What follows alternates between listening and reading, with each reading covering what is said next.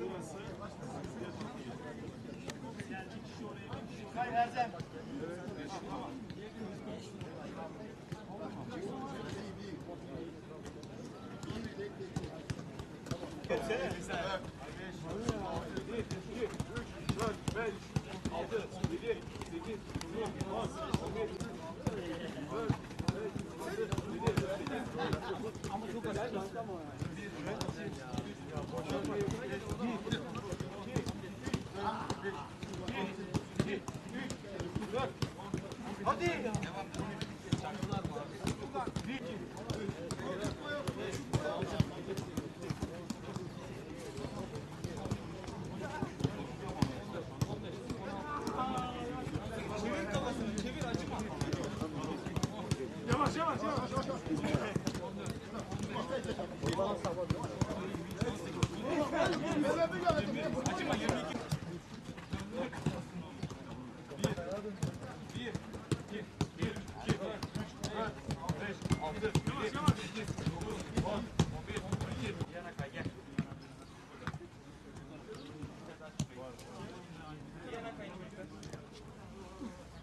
Evet, e, sezona e, başladık. Bir 20-25 günlük süreç oldu.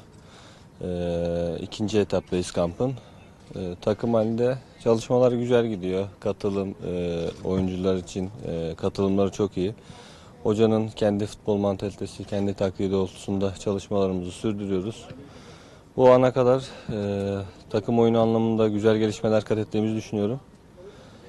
İnşallah bu sene kendi oyun e, mantalitemizi yerleştirip güzel bir oyun sergileyeceğimizi düşünüyorum.